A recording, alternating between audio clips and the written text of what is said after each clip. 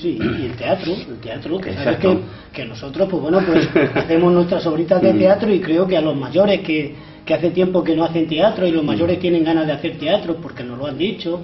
eh, eh, impulsar el teatro, hacer, pues no sé, una especie de festival de teatro en el pueblo para que, bueno, las compañías amateur que vengan y, y estén pues ofreciendo una obra de teatro que a la gente pues les pueda entretener, sobre todo a los mayores que sabes que los mayores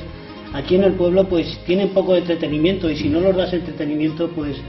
se lo merecen que tengan entretenimiento porque ya se lo han. Yo lo veo muy bien, sobre todo el, el festival este de teatro amateur y potenciar el grupo de teatro de la asociación 8 eh, de marzo y también el de la asociación de la tercera edad La Picota, porque son dos grupos de teatro que han estado haciendo teatro durante mucho tiempo y que esperemos que se sigan haciendo porque las obras le gustan mucho a la gente. Claro, el ayuntamiento, yo creo que debe, el ayuntamiento debe de apoyar esas, esas iniciativas porque en fin y al cabo la cultura es la base de la gente del pueblo.